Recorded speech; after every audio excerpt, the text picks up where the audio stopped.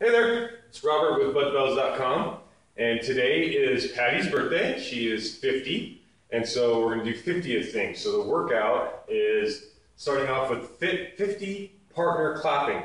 I don't exactly know what this is called, but this is what I call it. You're going to get a partner, and you're going to practice um, with this clapping. So if I had somebody in front of me, you can start in a squat position, and all you got to think of is this opposite hand. So left, right, left, right, left, right, just back and forth, right? Left, right, left, right, left, right.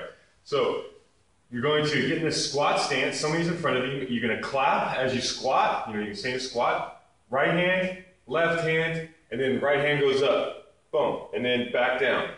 Left or right, left, right, left, right. And you can add a jump to it. So it's boom, boom, boom, boom, boom, boom.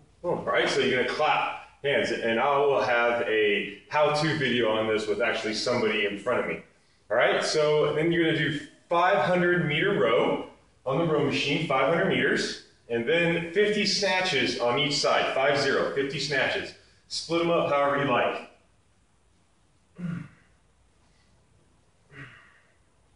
Okay, 50 snatches, and then 50 switch foot mountain climbers. So you start in this um, like a lunge position. You're going to switch feet, go down, mountain climber, one, two, switch feet, mountain climber, one, two, switch feet, one, two, switch feet, one, two, switch feet, back and forth 50 times. Um, and then you're going to do 25 seated presses.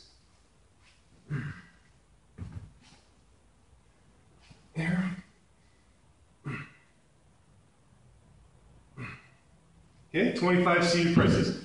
If you can't sit with your feet out in front of you in this right angle in your hips, so you're straight up and down, if you're finding yourself when you sit out like this, you're rounded out, uh, sit on a block.